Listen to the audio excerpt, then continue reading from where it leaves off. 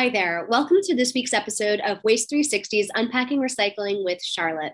My name is Charlotte Dreizen, and I am really excited to talk today about all things solid waste in Rome. I just had the chance to spend the last week on vacation in Italy and kicked off the first few days in the capital. Whenever I am traveling, I'm sure I'm not alone in this. I am categorically incapable of not poking my nose into recycling bins, trying to translate signage, and seeing what solid waste is all about wherever I am. So, what better opportunity than to do some reconnaissance, I figured, on how solid waste works in Rome. As many folks know, they are notorious for having a lot of solid waste management challenges. I have been really curious to better understand what that's all about, and we're going to dive into it here today. Um, this will be a bit of a play in three acts. Um, we'll first kind of start back at the very beginning of when contemporary solid waste management really started to evolve in Rome um, in about 1960. We'll work our way to the 20, 2010s, 20 teens, and then spend a bit of time on kind of the present ish day, the last administration or two in Rome, and how they've handled some of the solid waste cha- challenges that they've confronted. And then we'll spend a bit of time on what's ahead for Rome and how the new administration is proposing some new policies, programs, and facilities to really start to gain momentum. And I'm going to be throwing in a few random assortments of takeaways that I've had from walking around. Uh, Rome happened to also be the last place I had the chance to travel to right before COVID in November 2018. Uh, so it's been really interesting for me to reflect on what I noticed that first time as well as this most recent trip there. And I definitely noticed a lot of big differences. So exciting to, to think through that and to, to talk through it all starting off with some kind of key contextual pieces to help us think about what's going on in Rome as a whole. Um, it's a city of about 4.3 million people in the metropolitan area. Um, not only, of course, though, are they generating the waste from their residents alone, but also the 20 million visitors that come through each year, folks like me stopping by for a few days. Um, we know that a lot of big cities are in similar boats. They have really inflated waste generation due to daily commuters or tourists or both. Rome is definitely one of these cases. Um, and not only has their you know tourist population kind of been historically high, but it really has been growing as a whole. Is just one kind of example specifically, the Colosseum experienced 50% growth in tourism between 2012 and 2019. It slacked off a bit during COVID, of course, but just an example that, you know, it's really not static. It, you know, has been high for sure for a long time, but um, does increase to grow, in, is increasingly growing. And their solid waste management infrastructure has really not kept up. Um, in fact, it's, it's really slid back during a lot of those years in the 2010s. Um, they generate about 1.7 million tons per year um, at a cost of about 180 million euro as a whole. Um, I should say before we get too far, I am positive I will switch euro and dollar erroneously and do a lot of mispronouncing here. Um, so apologies in advance. Um, but not only are they generating a lot of that waste and it's costing them increasingly more and more And now after the, the early 20 teens where they've started to have to export refuse outside of the city proper, where they used to be able to manage it in their own landfill. Um, Rome, interestingly, has a, they all, you know, most households throughout Italy have an annual user fee for refuse and solid waste services. The average in Italy is about 300 euro. In Rome, it's 400. So not only are they paying a good bit more than the, you know, than the average, but they're also receiving some, some pretty, um, uh, you know, challenging service levels for their basic collection of refuse, recycling, organics, and um, specialty materials as well. Um, a lot of this is really due to their Malagrotta landfill having closed in the early 20 teens. The EU really came down on it during 2011. After the next couple of years, it, it pivoted from a, a, landfill to a transfer station to, to export that waste elsewhere in Italy or outside of the country. We'll talk all about that and get into the nitty gritty details, but that was really one of the big pivot points where it started to become increasingly problematic, definitely an acute on chronic situation here.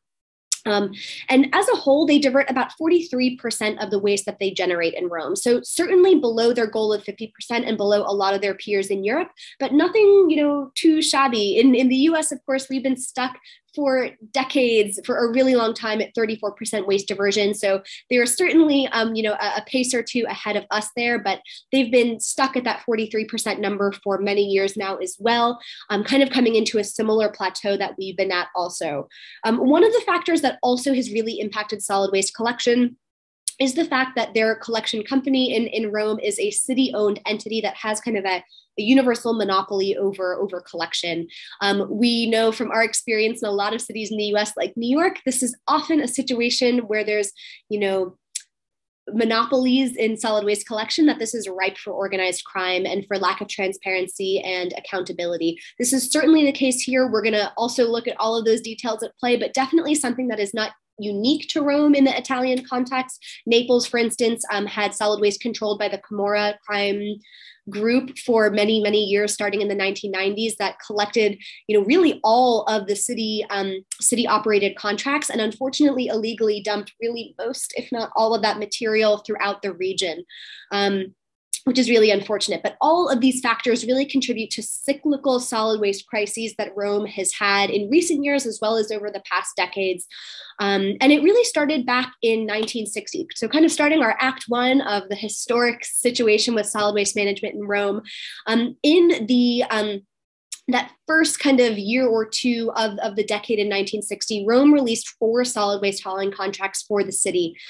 And one of them was uh, was given to a man named Manlio Cerroni, who is kind of the crown jewel of our discussion here of, of organized crime and solid waste in Rome and, um, and malfeasance he received one of the four hauling contracts, but pretty soon he acquired the other three hauling companies that received contracts, creating a universal monopoly over all solid waste collection in the city. We know that can lead to a lot of really challenging things, not only poor you know, provision of services, but, but also, of course, pretty high price premiums that can be commanded. Um, this started to evolve, you know, wasn't overnight, but certainly by 1984 was really cemented when Rome uh, Rome decided to give their, you know, one really big refuse landfill contract to his same company.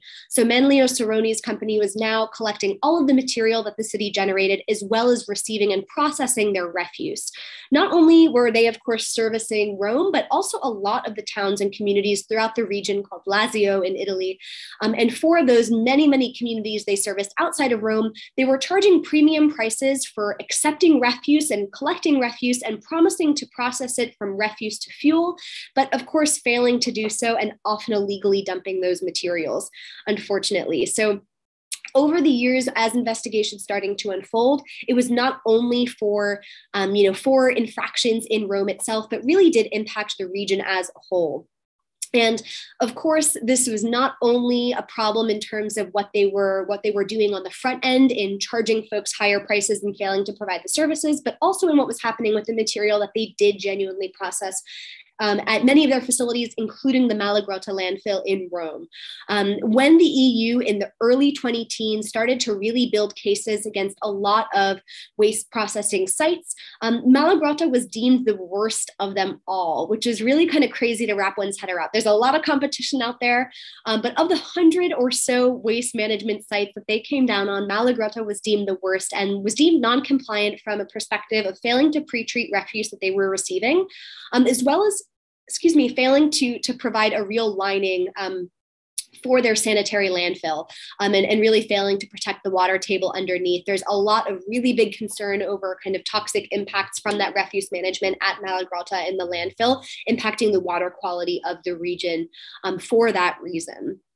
So again, a lot of concern over illegal dumping by Manlio Cerroni's company, but also the waste they did formally process, collect, and uh, and and deal with um, a lot of non-compliance and how they were managing that material. But certainly they are not alone. In Italy, the Italian authorities estimate that there's about a thousand, you know, unlicensed waste management facilities taking place. A lot more illegal dumping beyond that, of course. Um, and the EU estimates that out of the 250 formally licensed solid waste management facilities in Italy, about 100 are non-compliant for one reason or another. Um, so Malagrotta is certainly an example of this.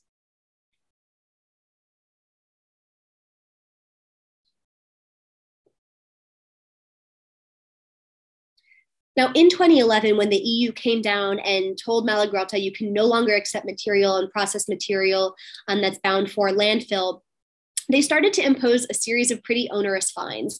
The EU designated a fine of 60 million euro that uh, Manlio Cerroni's company would have to pay the Italian authorities for non-compliance of their solid waste regulations. In addition to that, they they lobbed on a 250,000 euro per day fine as well. On top of that, really some serious big numbers there. I would be really curious to understand how they compare and, and contrast throughout the EU, as well as of course comparing kind of what we look at here in our in our different states and localities. But definitely struck me as really, really pretty serious and onerous there. Um, over the course of the 20 teens as well, not only did Malagrotta prove that they were not improving conditions there, by 2013, so much so that EU, the EU kind of really shut down their landfill operations as a whole, and they started to pivot to a transfer station model and accept about 1,500 day, uh, 1,500 tons per day of material to to send to other landfills and waste to energy facilities in the region once their landfill operations were shut down. But while those you know landfill operations were shut down, they didn't really kind of close off that operation in a in a you know sustainable and well managed way. They had piles of refuse up to 80 meters high. Um, and of course those kind of persistent challenges with leakage out of the, the landfill itself um, into the environment and to the, the water in the in the region also over the course of these years as well roman authorities started to have city probes into their into their operations and investigations and and brought to manlio cerroni a series of charges which he's now been successfully convicted for leading to an arrest warrant um, for fraud as well as improper management of solid waste. It's really a humongous laundry list all of which he denies and he does maintain in a pretty bombastic way that he is the best at what he does in trash management globally which is kind of a laughable a really laughable idea to, to wrap one's head around.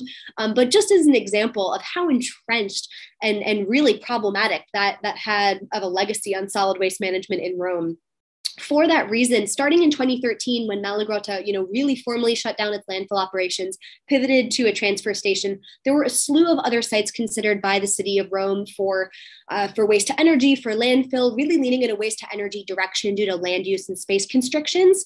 Um, but unfortunately, no real movement on making progress there, even though, of course, a lot of material being generated 1.7 million tons a year and and you know needing a place to put it for that reason, in 2016, when Virginia Raggi, the new mayor, came into power, trash was a really big deal in that campaign due to, of course, the increasingly big issues with collection now that Rome's main landfill had shut down, she asked fellow communities in the Lazio region, as well as outside of the region throughout Italy, to open up their doors of their landfills and waste to energy facilities and accept Roman, Roman waste, since that's outside of the scope of what those regional and local facilities typically, typically accommodate. They're typically just accepting the material from their jurisdiction itself.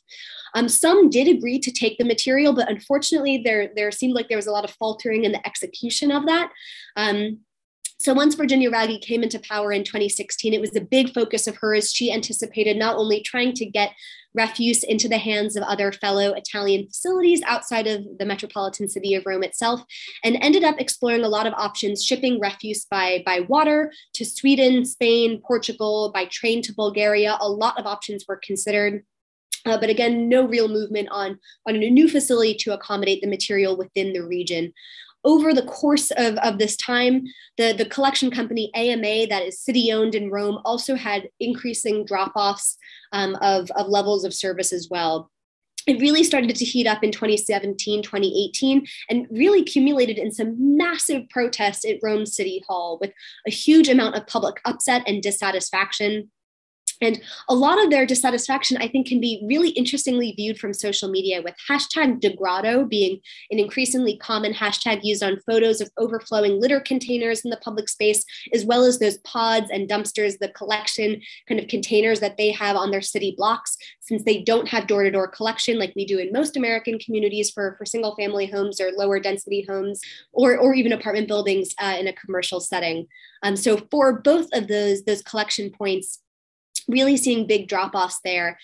So not only was the hashtag Degrado starting to become a real movement on social media, on Twitter and other social media channels, but the blog Roma fa schifo, which translates to Rome sucks, really started to develop a cult following. It was started in 2007, but over the, the 20 teens really started to, to increase in popularity, so much so that the, the mayor of Rome, Virginia Raggi, sued the, the, the owner, the person who started the blog, who she actually went to high school with um, for for defamation and, and really a you know just a public relations crisis. Um, not only did she sue the the person that started Roma Fa Schifo, which is one of the big outlets of you know outrage and discontent over the solid waste situation in Rome, but she also sued the regional government of Lazio due to a wild boar infestation that really started to develop in Rome. While of course Rome is you know similar to other cities in having you know rodent issues and animal concerns it really started to come to a head here in 2018 2019 they certainly had some wild boar in the city. It's common cinghiale is common in the countryside in rome that every once in a while would you know take up roost in one of their big spacious parks in the city. But by 2019, they were estimated to have a population of about 5,000 in the city. And normally they kind of keep to themselves, but we're increasingly getting into and disturbing solid waste containers, the pods, you know, on streets that folks bring their refuse and organics down into in particular. Um, but it really started to become an even bigger problem when wild boar started to disturb school children and people walking from the grocery store through the parking lot of the store to their car carrying groceries. There are some really wild social media uh, clips out in social media if you ever care to take a look of, of boar interfering with folks kind of, you know, like knocking at the bags that someone is carrying. It's really kind of crazy. Understandable that folks would be super concerned and that would really accelerate and galvanize folks about the solid waste situation in Rome, but also caused a lawsuit by the mayor for the regional government. And uh, in turn um, you know really was becoming um, kind of a, a, tit for tat between the city government and regional government. At this time the national government also came down and started a task force to deal with the solid waste crisis that was um, starting to unfold in rome in particular um, with somewhat you know debatable success here. Ama the city owned collection company was also as they were dropping levels of service and increasing public outrage over it raggi fired the entire board of ama and over the course of seven years they had five ceos a huge amount of turnover. One can really see that the system is being stressed and you know is is having a lot of tumultuous turnover as as a whole Due to this public concern and outrage, trash again became a really huge piece of the, the 2021 election cycle in Rome for the next mayor. Virginia Raggi, perhaps unsurprisingly, lost in favor of a newcomer, Roberto Gualtieri, um, who made trash and recycling a really big piece of, of their campaign. Um, in 2019, Virginia Raggi had said, you know, we have to build a new facility. And she walked that claim back, leaning instead into a zero waste plan to try and really shift the balance of material that needed to head to refuse versus recycling or composting um, is a way to try and circumvent the need for a new waste to energy facility or landfill. Gualtieri felt the same when he was coming into office.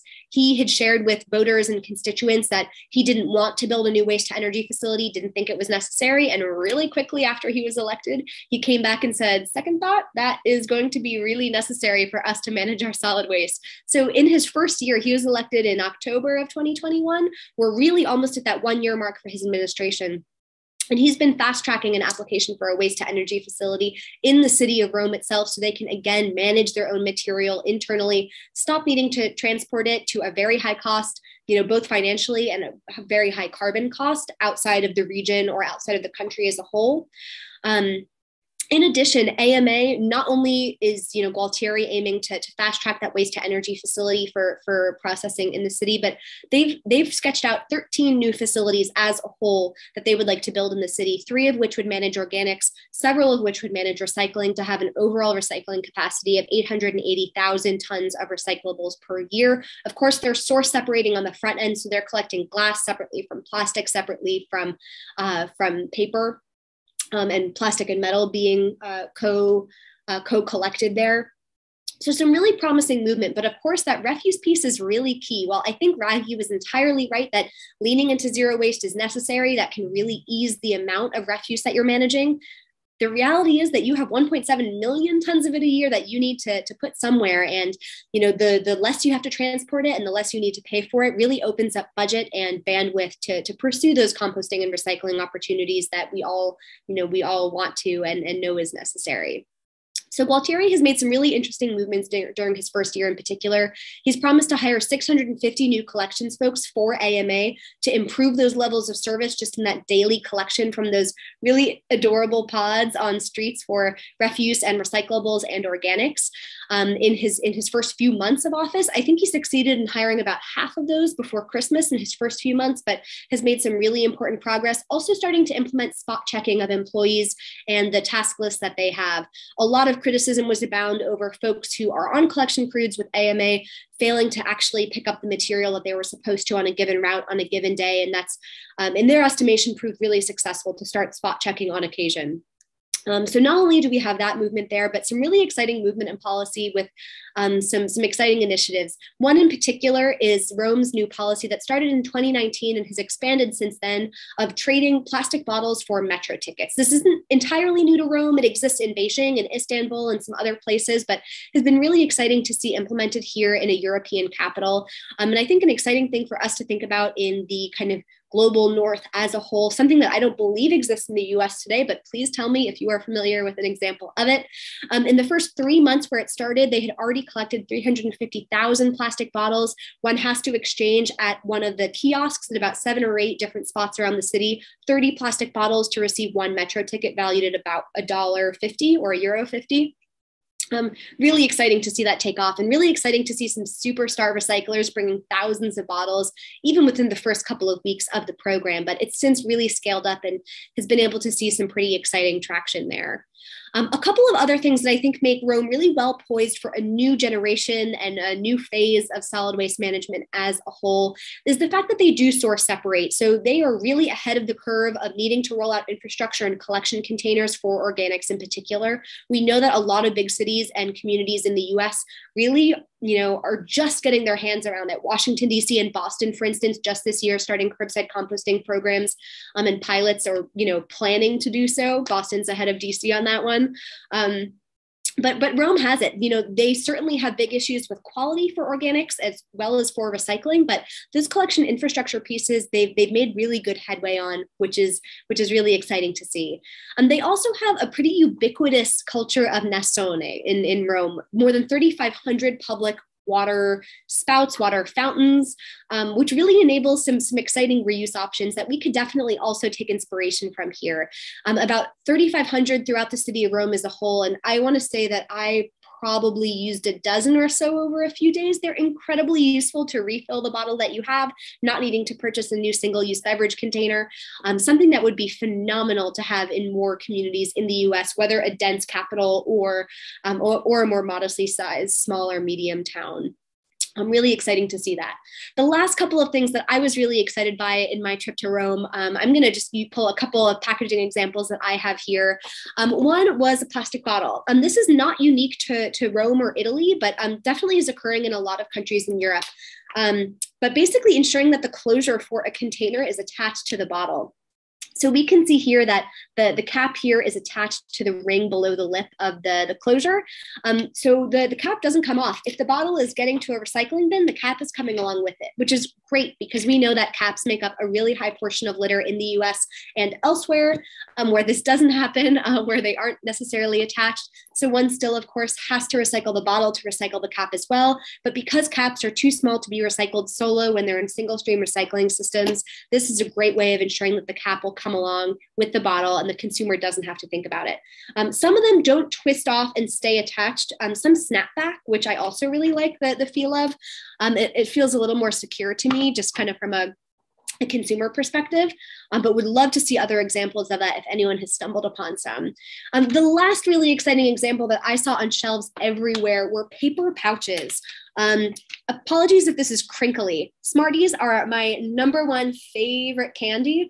Um, so was really excited to see this. When I was last in, in Italy three, four years ago, right before the pandemic, um, I suppose it's, it's, getting to that point years wise. Um, they were in thick multi-laminate, um, you know, pouches that would not be recyclable curbside or via a drop-off program that we have today really exciting to see some paper pouches as a recyclable option. Of course, when you have metal and paper and plastic fused together, unfortunately not recyclable with our infrastructure today, but paper pouches that are pretty simple construction like this are indeed recyclable.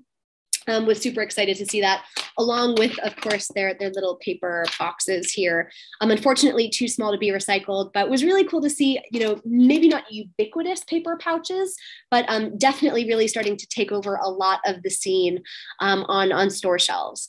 Um, I'll stop here. I know we've gone through a load of different events and factors that impact solid waste management in Rome today. I am really excited to see how the mayor, the new mayor's administration, Roberto Gualtieri, you know, rolls out a waste to energy facility, new dumpsters, which he's claimed to do within two years. We're about halfway through that two year term. So excited to see in the year ahead what new progress there is on streets for multifamily residents and single family residents alike to use, um, as well as some of their really exciting new initiatives like exchanging plastic bottles for metro tickets pan out. Um, I hope you've enjoyed. Please, as always, drop a comment right below this video on Waste 360's website or reach out over Twitter or Instagram if you have any questions at all. Would love to hear your thoughts and hear if you have any other interesting takes from any travels recently. I'm on Twitter at Char Dreizen, C H A R D R E I Z E N, and Char Recycles on Instagram. Thanks so much.